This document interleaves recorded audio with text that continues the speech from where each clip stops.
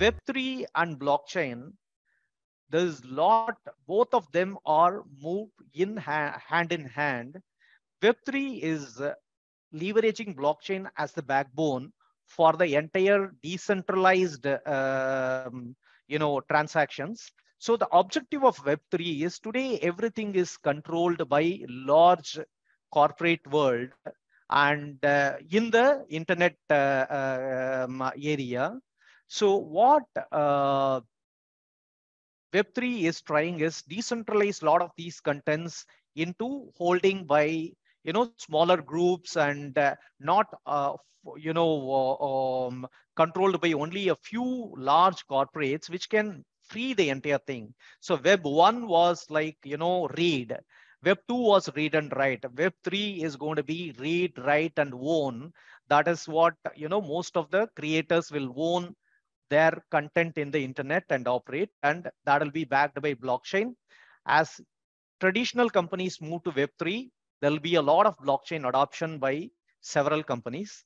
And blockchain is coming into mainstream adoption. There is quite a lot of adoption happening wherever there is a need for trust security and speed and cost reduction in um, bfsi and all other uh, industries as well this will gain this will really improve overall adoption of uh, uh, blockchain cbdc's is gaining quite a lot of action 2022 itself saw a lot of action. 23 is going to be really a game changer because in 23, already you would have seen uh, RBI launching, you know, wholesale and retail uh, CBDCs.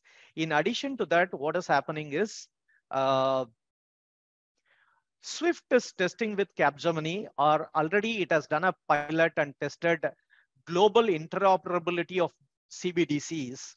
When CBDCs become globally interoperable, there'll be a lot of international payments, international transactions that will happen through CBDC, which will change the way the entire thing will work. There'll be a lot of inclusive finance use cases.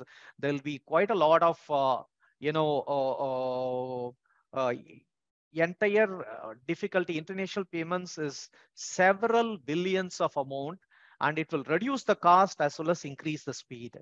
The other part, I already touched it a bit, asset tokenization. In addition to NFT tokenization, there is going to be a lot of tokenization in blockchain for various securities, and it is going to become completely digital, and it will be handled with you know, uh, blockchain-based exchanges, which will change the game for asset trading. What I mean is several types of assets.